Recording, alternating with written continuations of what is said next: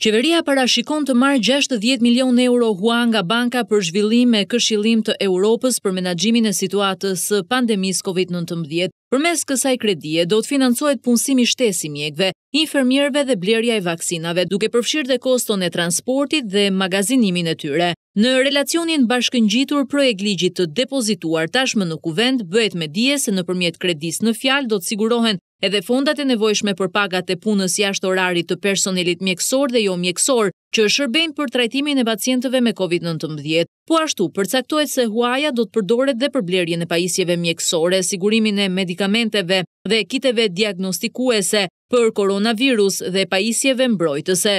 Në projektligjin për ratifikimin e marrëveshjes së kredisë në shumën e 60 milionë eurove, thuhet se kjo hua do të përdoret si mbështetje buxhetore për financimin e sektorit të shëndetësisë për mbrojtjen e shëndetit publik, parandalimin dhe reagimin ndaj rrezikut që paraqet Covid nëntëmbëdhjetë. Huaja që do të akordohet nëpërmjet kësaj marrëveshjeje është me afat maturimi pesëmbëdhjetë vjet, ndërsa norma e interesit do të përcaktohet mbi bazën e tregut në momentin e disbursimit. Ky instrument financiar do të përdoret dhe për rehabilitimin e përshtatjen e spitaleve për trajtimin e të infektuarve me koronavirus. Për vitin 2020 janë shpenzuar rreth 43 miliard lek për sektorin e shëndetësisë dhe mbështetjen e ekonomisë gjatë krizës shëndetësore të COVID-19. Ndërkohë për vitin dy mijë e njëzet e dy, qeveria do të alokojë dy pikë shtatë miliardë lekë vetëm për programin e vaksinimit anti-Covid të popullatës.